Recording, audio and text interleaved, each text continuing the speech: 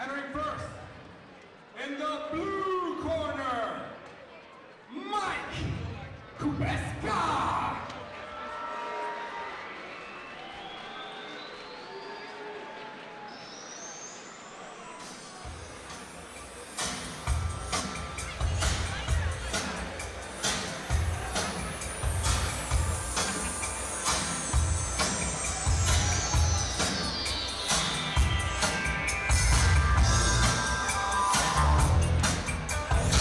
Mike Kubeska, what a character. Describes his fighting style as kicking and screaming, a combination of Brazilian Jiu-Jitsu, ground and pound, and wrestling.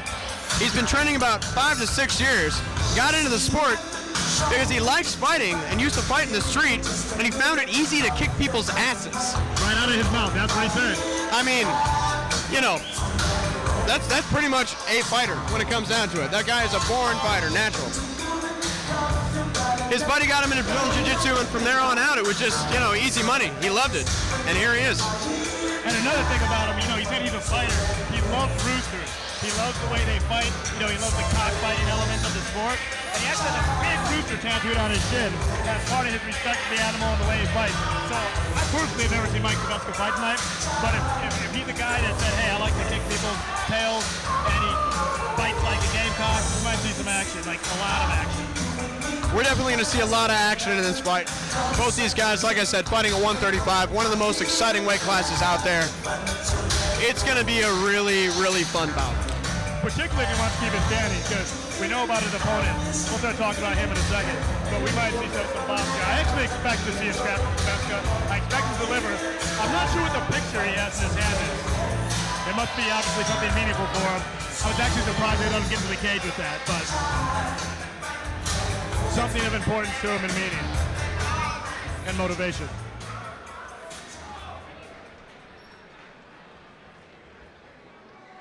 Introducing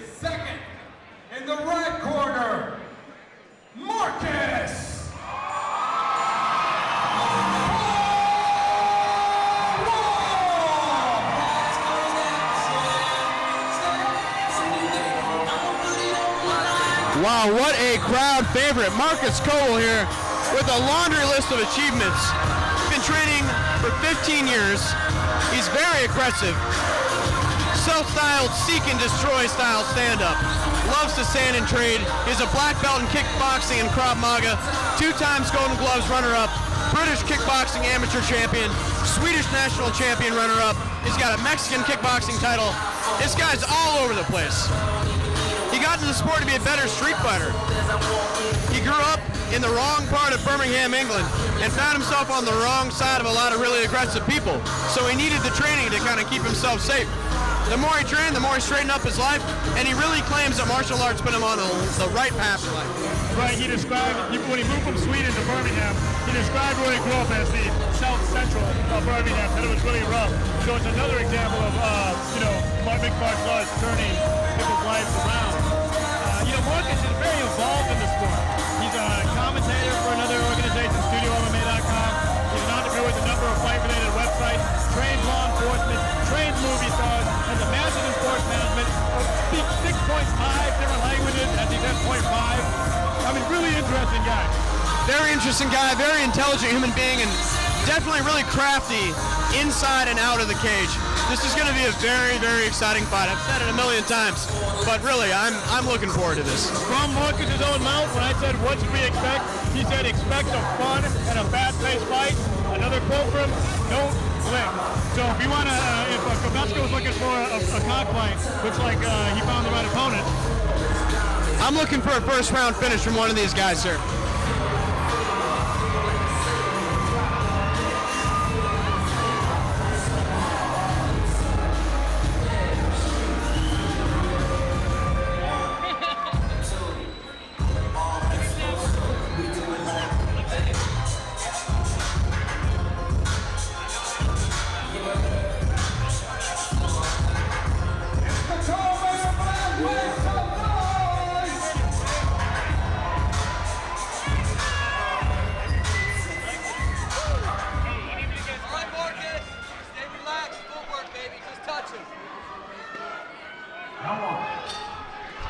We are off.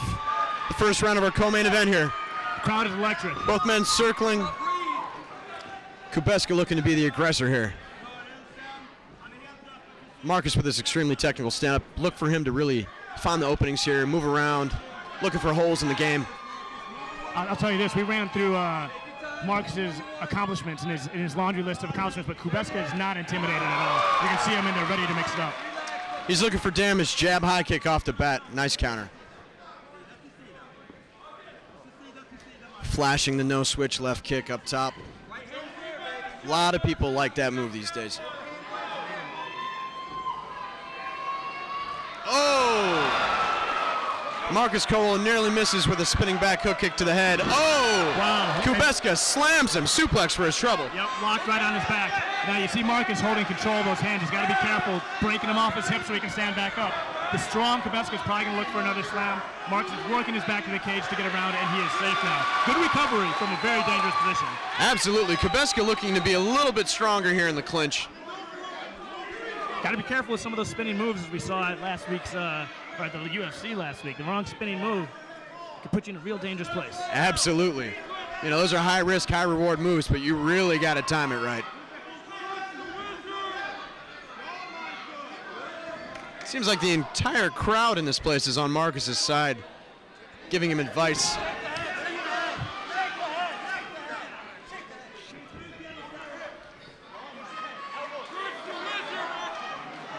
Good defense from Kubeska dropping low for a single, but Marcus showing very good defense, pushing the head away, stepping out. Kubeska tenacious in his pursuit of the takedown, though. Mark is actually going for a neck attack right now, but he's controlling the head. It's probably gonna, I wouldn't be surprised if he pushes off and starts firing elbows. Good elbow from Kowal. One minute, man. One hit, one hit, elbow. One hit. You know, Marcus is doing a really good job of, uh, again, staying out of trouble and working with his back to the cage, and he takes control of the cage now. Kubeska clearly feels comfortable in the in the in the uh, clinch because he seems to want to fight here. Got to be very careful with that neck. Kubeska bleeding a little bit from his nose, throwing winging punches. And we're back to the center of the cage. Oh, big right low kick from Kowal. Just stepped into it and shin to the meat right there. Right, and not too much of a surprise. You want to see Kubeska move right in for the body clinch after that. Kowal really seems to be looking for that guillotine.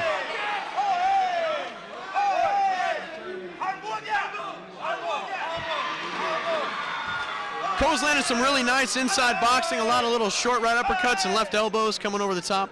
He's doing some real good things. Kubeska, Wow, and that was a so much action, so much Yeah. excitement in that round. That almost flew by for me. But uh, really interesting first round. What did you think about it? honestly, I think, you know, Kubeska obviously controlled a lot of the grappling, coming forward, trying to really impose his will in the clinch, but I think Marcus just did too much with the strikes. I think he did a little too much damage. I think I give that round to Marcus 10-9. You know, I'm going to agree with you, despite the slam. I'm going to agree with you. Um, Marcus really managed more of the more of the damaging blows in my opinion.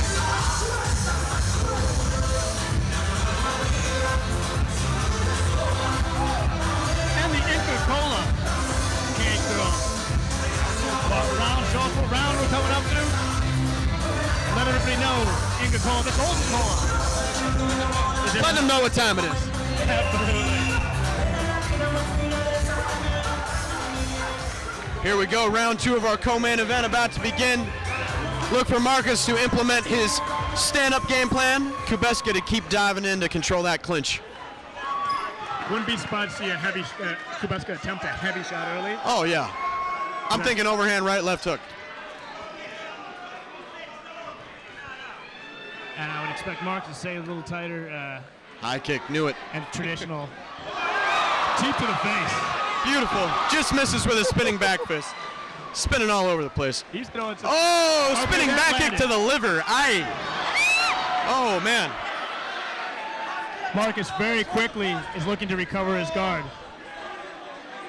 Intelligently. Now he's looking for a sweep Hard right to tell away. if that was a slip or a clean shot, but either way, Marcus ended up on his back and he's scrambling now. Kubeska like taking the back.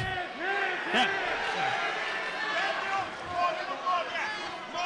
Okay. Yeah, so Kubeska here gets full back control, appears to have both hooks in, and is under the arms. This is a very precarious position for Marcus. He seems very comfortable. He's doing a good job defending his neck and landing a couple punches, but you can hear his corner screaming, get your back on the floor so that he can get out of this dangerous back control. He's got to be careful punching. He just tried to punch and left his neck exposed. Yep, and Kubeska immediately jumps on the neck into an attack, and he has to be very careful right now. I can't see the. Okay, we've seen a different angle here. He's getting his under his chin almost. He's this. This is very close. The arm positioning is very close to being out of trouble or in severe trouble. Great. Nice job. defense. He takes the forearm, pulls it over the opposite shoulder, and nullifies the choke. He should get his back to the ground though, and be careful. He might get body triangled right here by Kubeska. Progressive's doing a great job controlling right now. But again, you see that same defense. You take that forearm, you throw it over your neck, and you're basically out of trouble.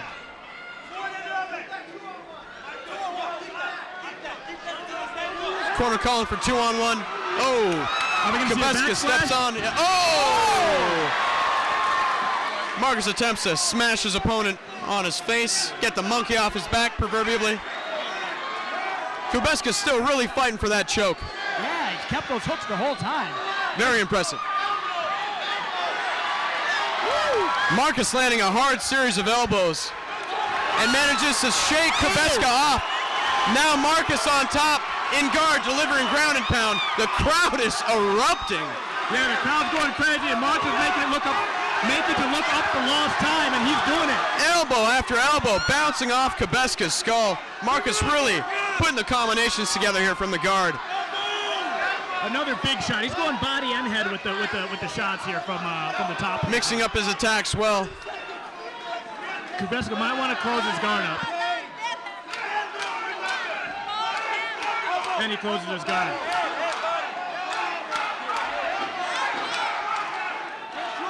More brutal ground and pound for Marcus at the closing 10 seconds of the round.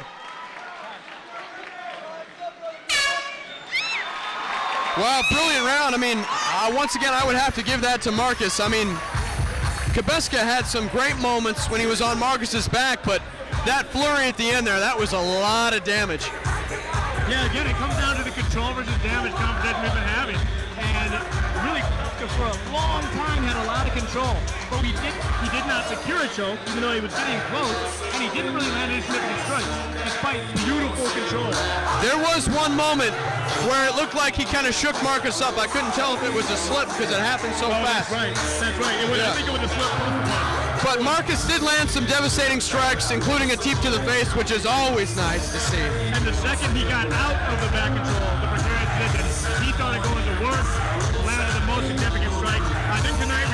judges into damage, and I wouldn't be surprised if they also give that round to. Definitely have to agree with you there. So here we are, the third and final round of our co-main event. Awesome 135 pound scrap. Great showcase of mixed martial arts. Fighting on the feet, fighting on the ground, and everywhere in between. If I'm Kubeska, I'm probably taking this to the ground. If I'm Marcus, I'm probably going to try and keep it standing and put in some work. Absolutely.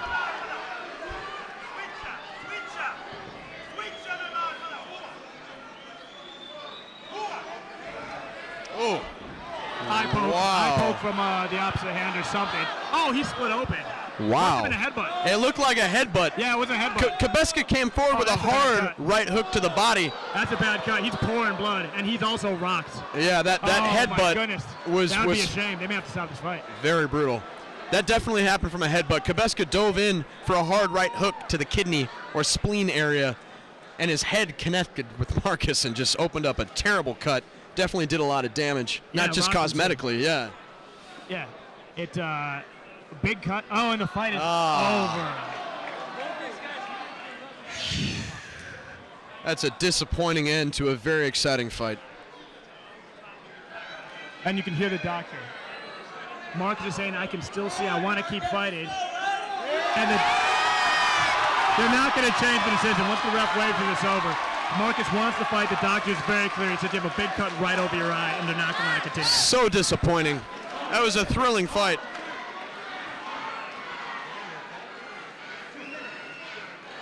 And well, what's happening here? Are they stopping it or not? I don't. Looks like it, yeah, the, the ref waved it off, but it looks like they may be overturning it. I'm not sure.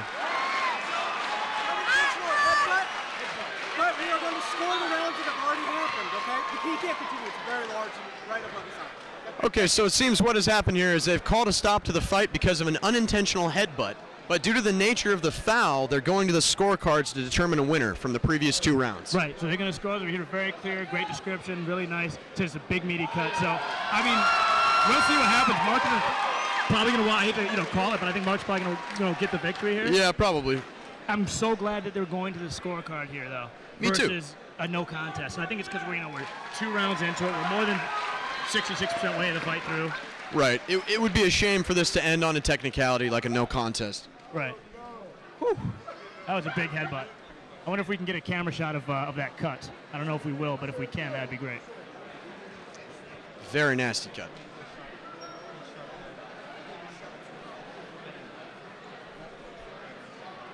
All right, we're trying to. Uh, probably it's going to be difficult to get in there. They're covering the cut. They're paying it attention. It was pouring like a faucet, so this isn't like the old Fridays where they pull it open for the camera to see. There's a lot of blood on the mat.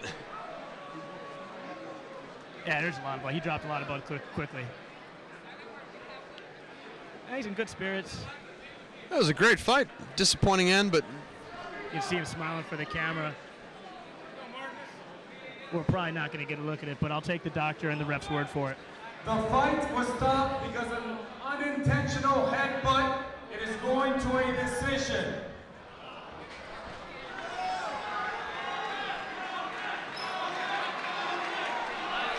The crowd not very happy with this. But unfortunately, that's just the way the cookie crumbles. Nothing you can do about it when an unintentional foul happens. It's unfortunate, but that's just the reality of the situation.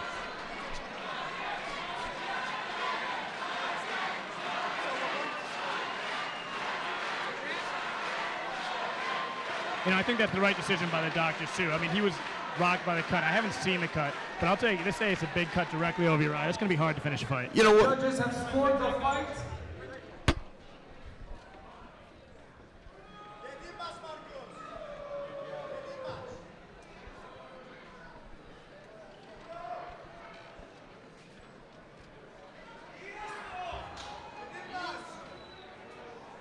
The fight was stopped because of an unintentional headbutt. It went to a judge's decision. The judges, via majority decision, have ruled the fight a draw. Wow. Well, there you have it. So it looks like two of the three judges saw that really solid back control from Kubeska and the control around the attack with the choke. They gave him that round. And uh, Marcus won the first. I mean, that has to be the way it went. Two out of three. Yeah, you know, it's really disappointing to see this happen, but at the end of the day, had they let the fight continue, Marcus was not only hurt cosmetically, but he was shaken up. It would have been a really terrible thing if he had gone back out there and gotten caught because of an illegal strike that had rocked him. So, you know, I think they did the right thing here. Yeah, for fighter safety. You never know what would have happened. That cut could have been busted wide open. You, you gotta act. You know what? It's, it's, I can't tell if it's a long cut or extremely deep. Is that the whole length of his eyebrow, that cut?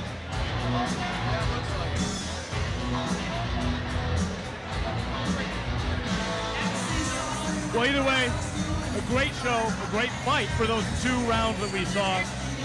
I wouldn't mind to see them fight each other uh, in the future. I, I hope we get a rematch on the next Samurai Pro card.